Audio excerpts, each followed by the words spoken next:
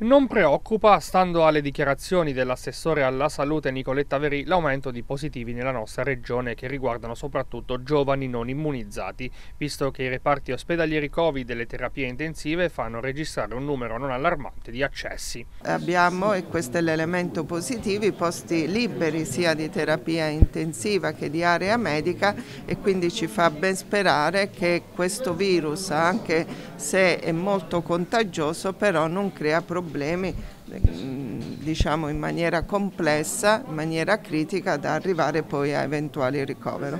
Per quanto riguarda la campagna vaccinale è presumibile nel periodo di Ferragosto un calo delle somministrazioni che sempre a detta dell'assessore verranno però recuperate nei giorni antecedenti e successivi. Stiamo seguendo quella che è la media nazionale che ci è stato imposto dal eh, dalla struttura commissariale, lavoreremo durante il mese di agosto, ci sarà forse così come in tutta Italia una sospensione giusto per il 14 e 15, però compenseremo quei dati nei giorni antecedenti e nei giorni successivi. Poi il Green Pass, la Veri si dice favorevole all'utilizzo del certificato verde, anche in vista della ripartenza dell'attività scolastica in presenza. Il Green Pass è uno strumento valido per mettere in sicurezza, ecco oggi ci troviamo in ospedale, giustamente chi entra in un policlinico deve in un ospedale deve avere la possibilità di presentare il Green Pass ed è quello che abbiamo strutturato. Eh, nelle strutture, specialmente quelle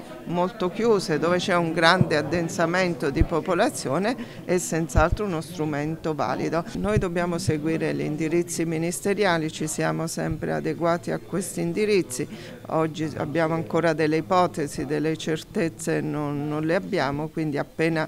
sarà definito quello che è l'indirizzo, quelle che saranno le linee guida, noi le attueremo. Ok su, per tornare in presenza a settembre? Senz'altro la presenza è un elemento importante, un elemento in cui la Regione Abruzzo ha dimostrato questa volontà, è stata tra le prime a riaprire, a richiedere la presenza anche quando c'era in atto una pandemia, quindi io credo nella presenza, però in sicurezza.